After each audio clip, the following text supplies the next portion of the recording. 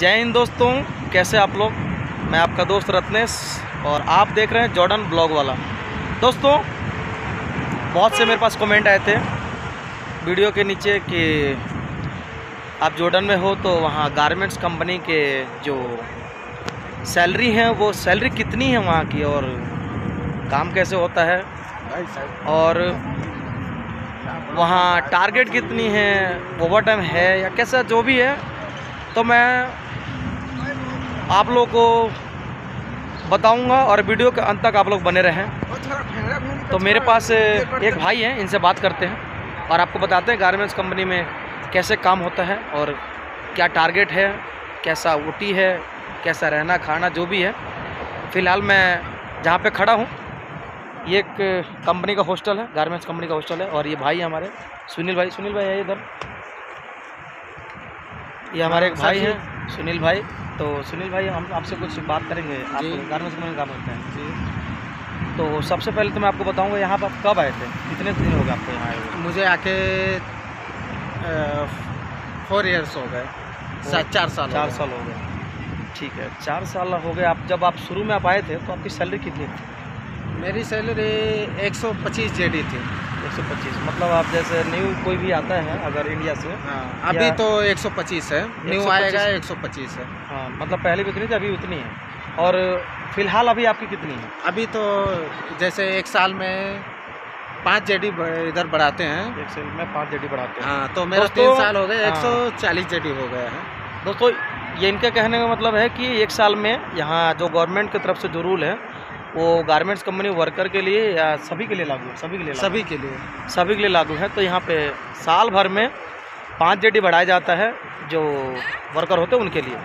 तो भाई आए थे इनकी सैलरी थी पाँच जेडी एक सौ पच्चीस जेडी और अभी इनकी सैलरी है एक सौ चालीस जेडी आपको चार साल हो गए ना?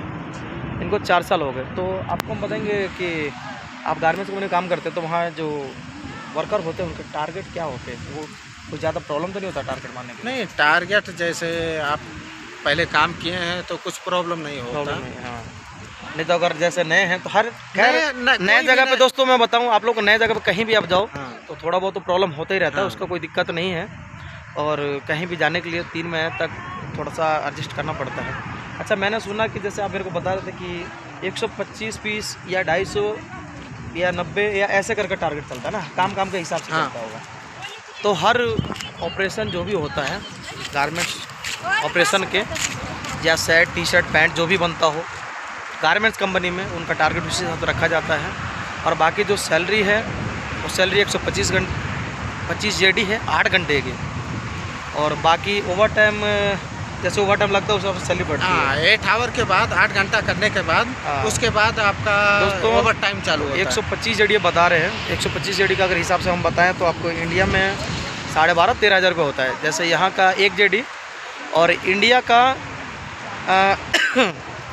एक सौ पंद्रह रुपये फ़िलहाल अभी सोलह रुपये से चल रहा है। हिसाब से देखोगे तो अब मतलब बारह तेरह हज़ार रुपये बैठ जाता है ना। हाँ। ऐसे बारह तेरह हज़ार रुपये बैठ जा रहा है तो मैं आपको बता दूँ कि अगर ओवर टाइम वगैरह चलता है। बारह घंटे तेरह घंटे अगर ओवर टाइम चलता है तो तीन सौ तीन सौ तक सैलरी आ जाती होगी आप लोग हाँ। तीन सौ के हिसाब से पैंतीस हज़ार तक इंडिया का बनता है। पैंतीस हज़ार अड़तीस हज़ार इस हिसाब से सैलरी बनती है।